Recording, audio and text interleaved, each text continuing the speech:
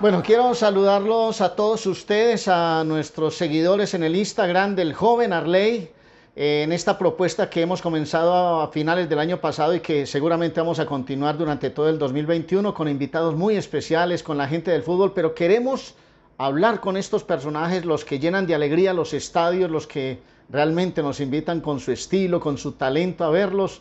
Queremos hacer de esto una sección eh, muy familiar, como, como intentando hablar en, en, los, como lo hacemos en los vestuarios antes de una transmisión de fútbol, antes de que los muchachos entren a una cancha de fútbol. Hoy nuestro invitado especial, porque es muy especial, además lo conocemos hace mucho rato, le hemos seguido toda su carrera, es Aldo Leao Ramírez.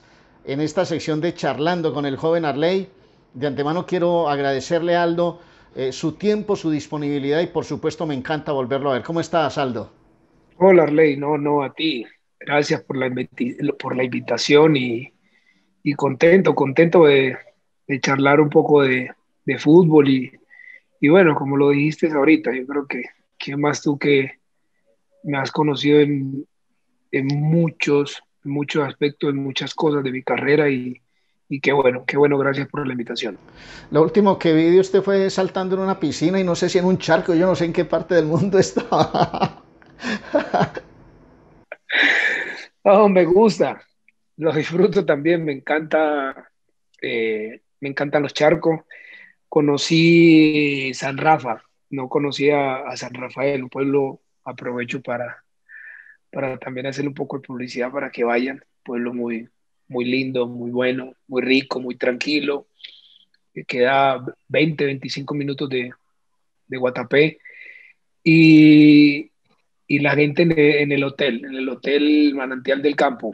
Conocí a los dueños, conocí, me, definitivamente pues pasé ratos muy agradables, pasé ratos muy ricos donde me dieron por conocer de la naturaleza también y aproveché para disfrutar todo lo que tiene la naturaleza, lo que son los charcos, el agua, lo que las piedras y me gusta mucho lanzarme porque eso siempre lo hice desde joven, desde el mar de pescadito, entonces aproveché para disfrutar de eso también. No, claro, se nota que, que no has perdido como, como todo ese... Realmente la gente cree que los jugadores de fútbol se olvidan de todo eso y, y, uno sigue siendo lo mismo de siempre, uno es familiar, uno tiene sus gustos, uno tiene sus motivaciones, ¿no? Hay momentos y, y en circunstancias que uno se limita de todo eso también porque eh, no es un secreto que, que esta profesión tan linda te, te hace tener esas clases de sacrificios cuando por, por ahí no, no lo puedes hacer, por ahí no tienes el tiempo, porque definitivamente los fines de semana estás jugando, estás concentrado, en semana estás entrenando. Y yo creo que una de las cosas de, del año pasado difícil que se vivió con el tema de la pandemia, te permitió en algún momento estar un poquito más en familia y, y de compartir esas cosas, y es una bendición. Y sin lugar a duda tuve la oportunidad y, y lo disfruté porque soy una persona muy familiar, soy una persona que me gusta estar siempre con mi familia y, y aprovechar el momento para, para fortalecer todo el tiempo y todo el espacio que uno tenga con la familia.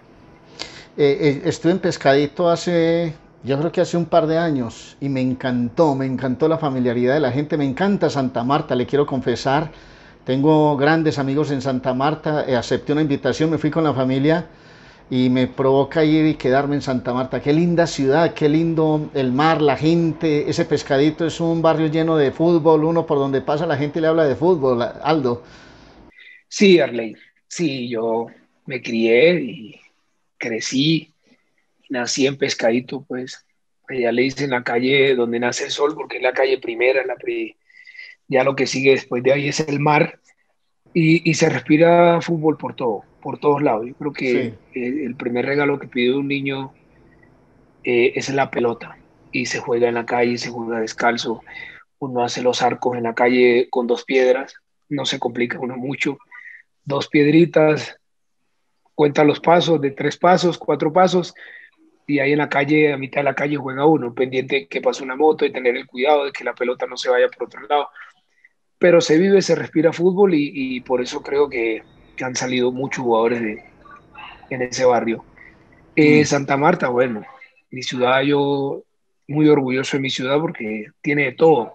Una playa muy hermosa, tiene playas muy lindas, el calor humano de la gente, el sentir la brisa, el sentir el mar, el sentir todas esas cosas, el poder tener la oportunidad y la bendición de, de uno pescar, de uno poder comer el guineo verde, todo eso, lo disfruta y, lo vive uno mucho en su, en su infancia. Entonces eso es lo que quizás cuando crece uno, lo que siempre recuerda. Claro, pero ah, ¿sabe cuál es la gran noticia? Que usted es un hijo adoptivo de esta tierra, porque usted es enamorado también de Antioquia. y, y, yo creo que no va a ser fácil de que usted se vaya de por acá, ¿no?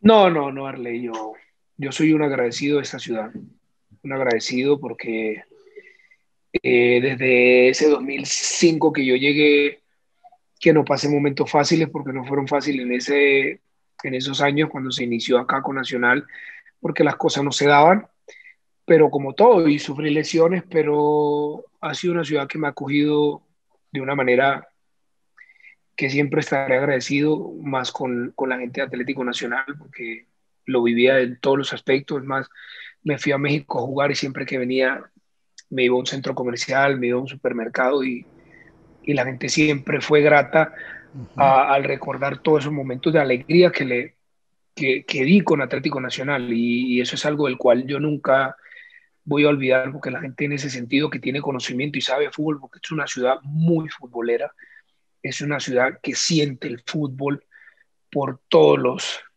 todos los aspectos y, y para uno es gratificante saber de que tiene uno la oportunidad de, de, encontrarse con alguien y siempre recuerde su momento y el fútbol que uno tuvo con Atlético Nacional. No, claro, y la gente le aseguro una cosa, Aldo, el hincha de Nacional, y usted lo ha confesado que es su, su gran amor, sé que usted también en, lo profundo de su corazón me imagino que debe tener un profundo amor por el Unión Magdalena, su tierra y todo, pero aquí se consagró y yo creo que usted siente el respeto y la admiración de la gente. Creo que lo ha sentido así, ¿o no? Sí, siempre. Siempre y ha sido recíproco y eso es muy importante porque tú lo acabas de decir, sí, siento un cariño un amor por el Unión porque es mi tierra, pero, pero el sentimiento y el amor y, que siento que siempre he sentido por Atlético Nacional no se describe de tal manera igual al que puede ser con el Unión, porque hice carrera acá, eh, sin tampoco olvidar lo que hice con Santa Fe, mis inicios, porque uno siempre es agradecido y uno recuerda siempre dónde salió, y eso jamás lo voy a olvidar y siempre voy a ser muy agradecido, que en paz descanse con esas personas que hoy en día no están ya y, pero lo que hice con el Atlético Nacional marcó, marcó mi vida, marcó mi carrera, marcó todo, porque el lograr uno tener títulos en un equipo no, no es fácil, eso no es fácil, no tiene uno la oportunidad de jugar final cada seis meses, y yo gracias a Dios con Nacional lo tuve y eso fue una bendición, entonces eso te marca la carrera, te da la oportunidad de ir al exterior, me la, me la dio el fútbol que demostré acá, con las personas que estuve rodeada, con los directivos que, que, confiaron y que le apuntaron a, a, traerme acá y, soy un agradecido de eso. Y le voy a decir, le voy a confesar una cosa, tener 39 años como los que usted tiene, estar vigente, fuerte, porque lo veo fuerte, saludable, lo veo como un roble con unas ganas de seguir, eh, eso solo se consigue con disciplina y con mucho cuidado. Y, siento que eso es lo que ha reflejado usted a través de su carrera. Yo nunca he sentido que Aldo Leao Ramírez ha estado envuelto en escándalos ni en indisciplina. Una cantidad de gente que llega a la cúspide y se le sube la, todo a la cabeza. Y lo he visto así, tranquilo, eh, perfil bajo, simplemente dedicado a su profesión y a la familia, ¿no? Sí, Arley. Eh, eh, acabas de, de, decir algo clave. Para uno llegar a estar ahí, estar vigente, jugar al fútbol y y entrenarlo de tú a tú, a mano a mano con, con, jóvenes hoy en día, porque así lo he sentido, así lo he vivido, eso solamente te lo da una disciplina, una disciplina a través del recorrido de todos estos años, de todos los entrenamientos, porque son muchos, es el desgaste, muchas cosas, pero el tener la disciplina en los momentos justos, en los momentos adecuados, de poder tomar una buena decisión, de quizás uno no, no descarrilarse en el momento en que en que uno eh, está haciendo figura, en el que un momento está en la curvita de la fama, en que sale el noticiero cada ocho días o cada tres días o es figura porque hizo gol o pase gol, como en algunos momentos yo lo viví en mi carrera y en esos momentos, gracias a Dios, tuve la oportunidad, la bendición de esas personas que me han rodeado, que han sido parte de mi familia y, y, he podido tomar buenas decisiones y he podido tener los pies sobre la tierra, que es fundamental para llegar hoy en día y tener 39 años y estar con ese deseo, con esa fuerza, con ese, con ese, con ese gusto todavía de seguir entrenando y haciéndolo con el gusto como si fueras empezando. Yo creo que eso te lo da la disciplina, la disciplina en momentos clave de, la carrera del fútbol. ¿Y qué es, lo, qué es lo que quiere hacer ahora? Porque, eh, ¿dónde, ¿dónde, quiere estar? ¿Qué es lo que quiere en este momento, Aldo? Ley, mira que ha sido algo muy complejo porque dentro de mi carrera muchas veces que tuve técnicos que, que admiro y tuve técnicos que me ayudaron mucho a crecer, eh, siempre me comentaban y me decían, yo te veo como técnico, vos tienes una visión, la manera como ves el fútbol, cómo lo disfrutas, cómo lo haces, eh, cómo lo haces ver de fácil, yo creo que le sacaría mucho provecho y siempre discutía con ellos eso y le decía, no, yo no, es que mírate cómo estás de canoso, mírate cómo estás, miras esto. Entonces discutíamos esas cosas. Y ahora que, que tengo la oportunidad de que uno ve que la carrera ya está a la vuelta de la esquina, el, el retiro y todas esas cosas, uno quiere seguir, quiere seguir porque lo vive, lo disfruta y gracias a Dios tengo a personas que, que, me rodean y que me ayudan y que me han estado ayudando, me colaboran, como el caso de Luca Aramillo, que tengo una gran relación con él. y, y, me ha estado hablando mucho y me ha aconsejado mucho de que, que sigan eso y me, me, van a ayudar a seguir creciendo en eso y, y, es lo que quiero en este momento, en el momento que decida no continuar mi carrera. Empezaste como volante 10, ¿no? ¿No? En la sí? escuela, uh -huh. cuando empecé lo de Alcázar en Santa Marta, yo era delantero. Empecé rápido. delantero. Era un flaco, rápido, con habilidad. Empecé como delantero. Hasta que una vez eh, yo jugaba juvenil y el profesor Ayola, él, él, era el dueño de la escuela y era técnico, y, y me dijo, ¿sabes qué? Me gustaría probar contigo un poquito retrasado, como volante 10. Quiero intentarlo, eh, vamos a ver qué tal nos va. Y fíjate que empecé a jugar de 10, me gustó, sentía más contacto con la pelota, me sentía más que me sentía más importante dentro del juego y, y me quedé en esa posición y ahí, ahí fue donde empecé de 10. Y ahí, y ahí, y ahí te consagraste, lo, lo, lo, conseguiste todo, porque yo me acuerdo cuando usted vino con Santa Fe, fue una locura cuando vino con Santa Fe. Después de eso creo que Nacional empezó a fijarse en Aldo Leao Ramírez y lo fichó y lo trajo y empezó a hacer toda la historia que hizo al final. Pero en esa posición fue realmente donde encontró usted la plena consagración como jugador, ¿no, Aldo? Sí, Arley. Yo en Santa Fe empecé siendo 10. Empecé y llegó una vez un técnico que en paz descanse también, Draga Miranovic, con su estilo europeo, era yugoslavo, todo eso, me dijo, ¿sabes qué? Te voy a utilizar un poco más retrasado, vas a ser un 8, no vas a ser el típico 10 que viene siendo porque me gustaría verte acá. Y lo empecé, empecé bien, lo hice muy bien, me, me entendí y, coloqué toda mi parte para, para aprender porque él quería incluirme en mi fútbol y como ese chi de, de que ayudara también a recuperar. Él se va de, de Santa Fe y, y, llega otro técnico y, y, vuelvo otra vez a la posición habitual de 10, que es cuando nosotros vamos a la final con Atlético Nacional, que, que la perdimos en el 2005, y ahí es donde yo paso a Nacional de volante 10, que, que lo que acabas de nombrar tú, al comienzo no fue fácil, pero llega un técnico como, como Oscar Quintabani, que en Atlético Nacional sí fue el que me ayudó a, potencializarme y a mostrar todo mi fútbol, porque confió, creyó una vez en un entreno, eh, me agarró y me agarró aparte y me pegaba en, en, el, en, el, en, la parte del corazón, en el pecho, y me decía, pues tenés un corazón y un pulmón gigantesco, o sea, tú me puedes dar más de lo que me estás dando, sin lugar a duda, me lo puedes dar y jugábamos nosotros en,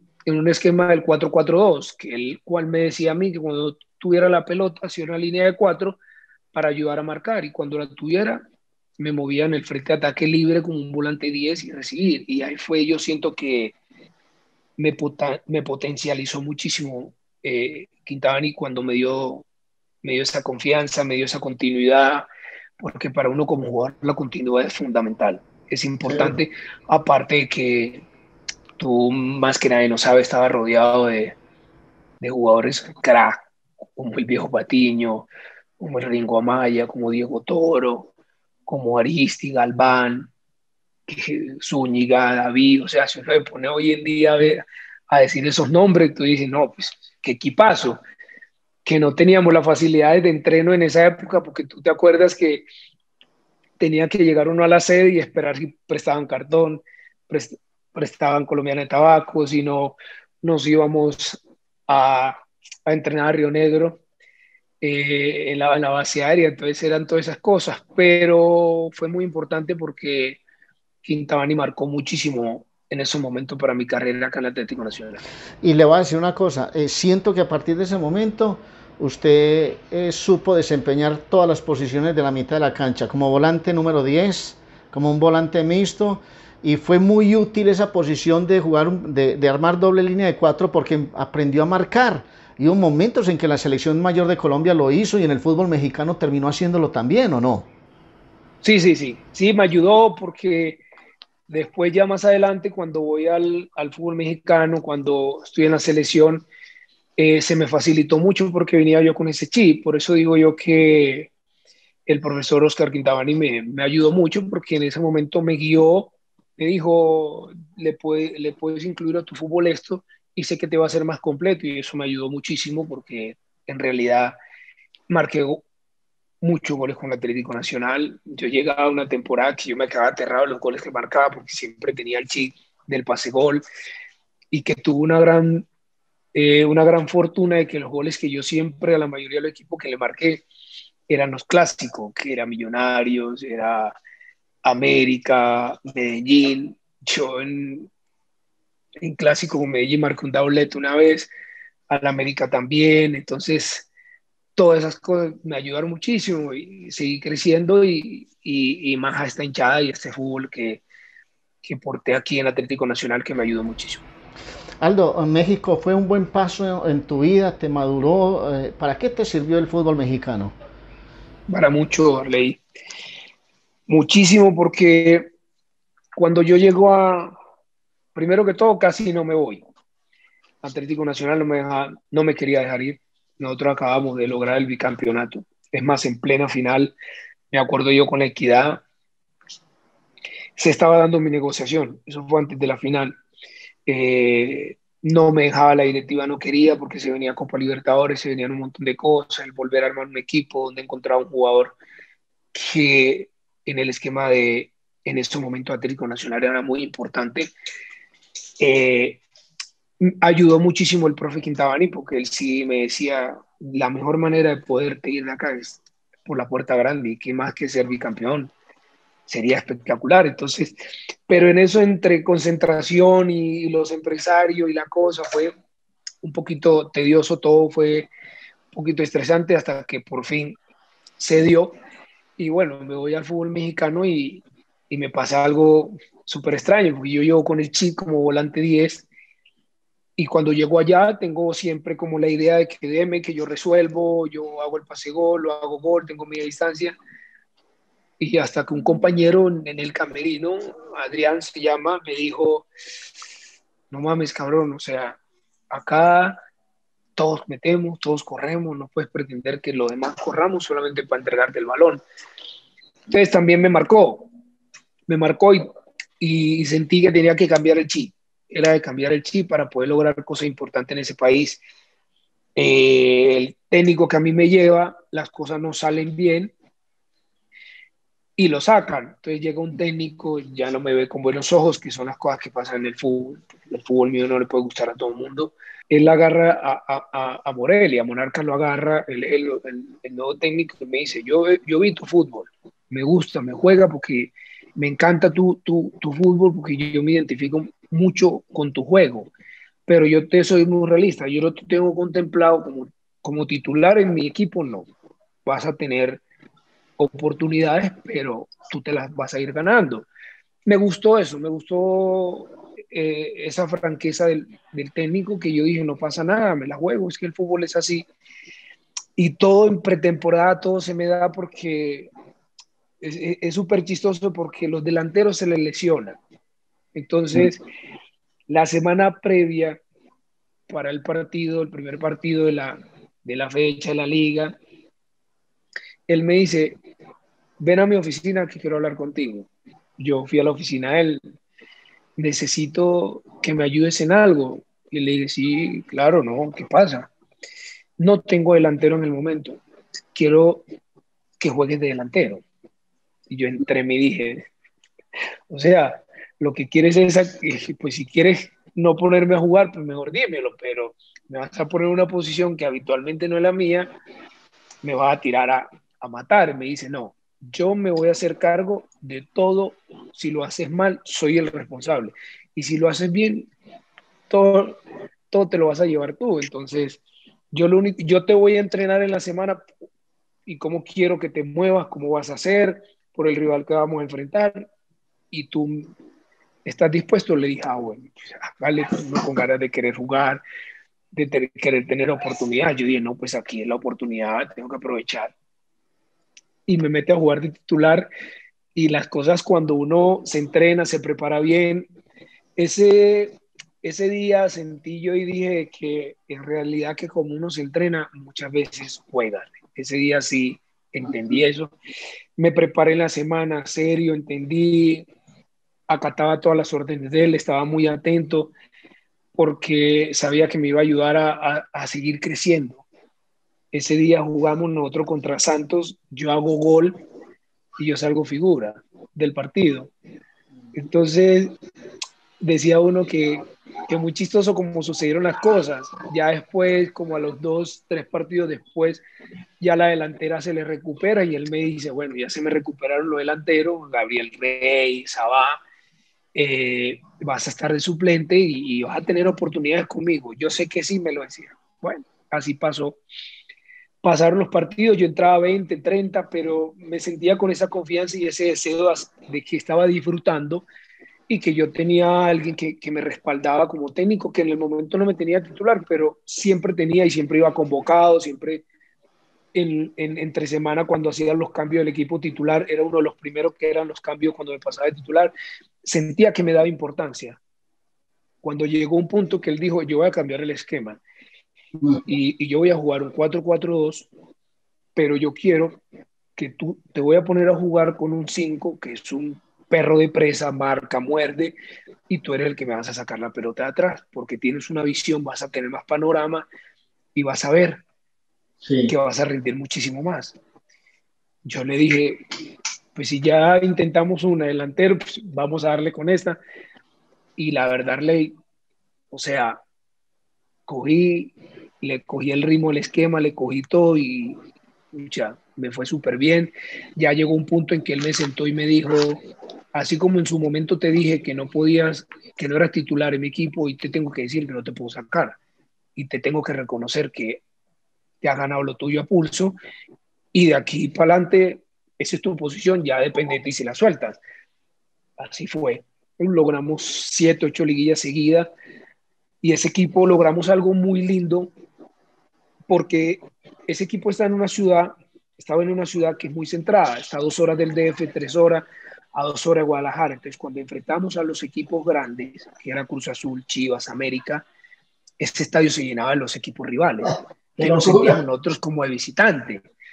Y nosotros agarramos, o sea, que los equipos grandes, que era Cruz Azul, Chivas, América, nosotros le ganábamos, le dábamos un paseo jugando bien al fútbol, mostrando fútbol. Uno veía el estadio, el hincha dijo, no, o sea, es nuestro equipo y aquí no nos van a llenar los equipos de afuera del estadio, ya lo vamos a llenar a nosotros. Entonces, se armó algo muy, muy lindo, muy lindo y, y se lograron cosas. Yo ahí, duré, fue en el equipo que más duré, siete años tengo, o sea, así como amo Nacional, es un equipo que lo amo porque también marcó mi carrera, me dio un plus y me dio un estatus porque fue el equipo que me dio, me dio, la oportunidad de salir del país y, demostrarme internacionalmente y eso fue muy importante para mí también. No, y, pero ¿sabe por qué logró eso? Le voy a decir por qué. Porque usted es, un jugador muy inteligente, porque usted es talentoso, pero tiene mucho, mucha inteligencia de juego, porque sabe leer el fútbol. Eh, le voy a confesar algo, yo lo he dicho varias veces, yo soy hincha a morir de los talentosos, de los creativos. Si por mí fuera, no, no los terminaría jamás en el fútbol, porque es el jugador distinto, es el filtrador de pelota, es el que te toca con sutileza un balón, te pone al delantero mano a mano la gente es feliz viendo unas flechas corriendo por todo lado y la pelota termina por allá en la tribuna, en la piscina olímpica, en el Atanasio. Y yo prefiero esta clase de jugadores. A mí me encantan jugadores como usted, me encantan jugadores como Neider Morantes, como Valderrama, eh, como James, que lo veo en Everton haciendo unas descargas de 30 y 40 metros y oxigena completamente el equipo.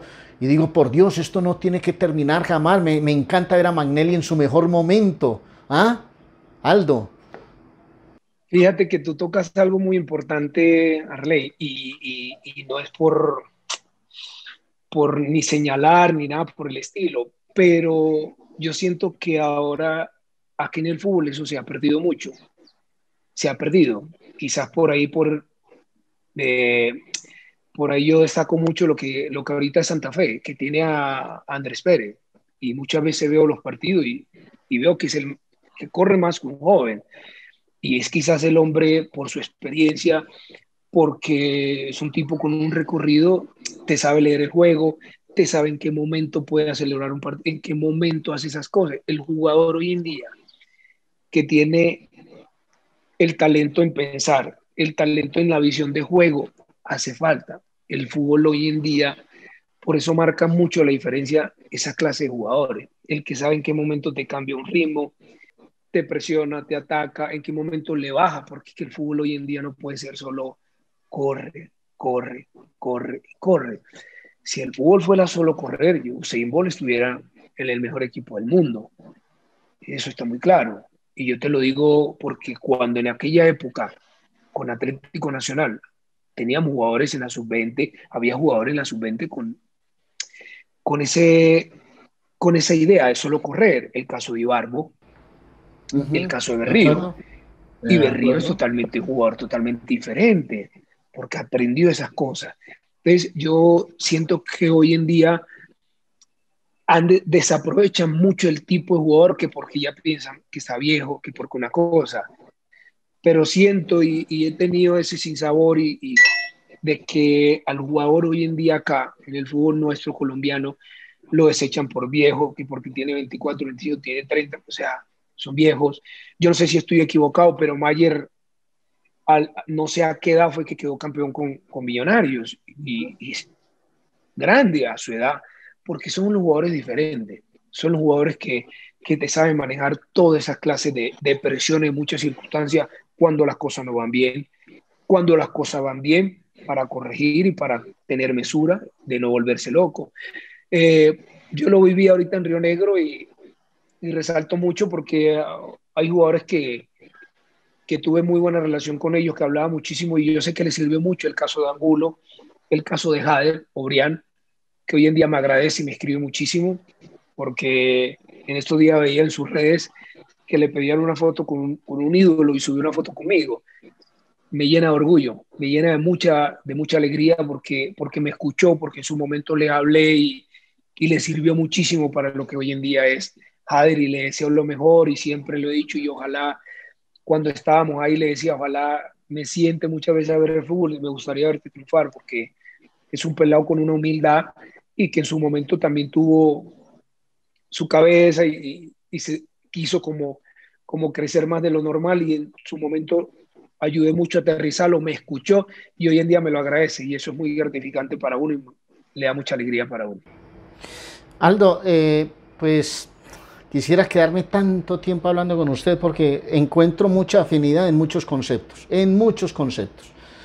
Pero me parece que lo más importante, lo que queda aquí es un legado de un gran jugador que yo quisiera frenar el tiempo y todos estos talentosos eh, no dejarlos ir, que se quedaran ahí estacionados en una burbuja, porque el fútbol necesita jugadores como usted. Le repito, en estos días hablé con Andrés Ricaurte, me encanta ver a Ricaurte, cómo filtra una pelota, cómo va llegando a pisar el área y cómo saca esa zurda y mete el balón al fondo de la red. Esa clase de jugadores yo quisiera protegerlos, porque jugadores que corran a mil por hora por las bandas ahí por montones, lo saca uno por montones. Pero el que piensa, el que maneja los tiempos, el que, el que cranea cosas, no es tan fácil encontrarlo. Yo hoy vine con la idea de hablar con usted de su vida, de su carrera, y encontré al, final de los tiempos a un, a un gran jugador y a una persona bien parqueada, que sabe para dónde va y que siempre tendrá en su corazón el fútbol. Y eso se lo quiero agradecer porque cuando lo siente adentro, eso mismo es lo que usted reflejó en la cancha. Un abrazo enorme y gracias por acompañarnos aquí en esta sección charlando con el joven Arley. Y espero pues que no sea la última, que nos veamos por ahí, nos tomemos un café y también reproduzcamos otras cosas, Aldo. Claro que sí, Arley, no, con gusto. ¿Qué más tú que, como te lo dije al comienzo, has seguido parte de mi carrera?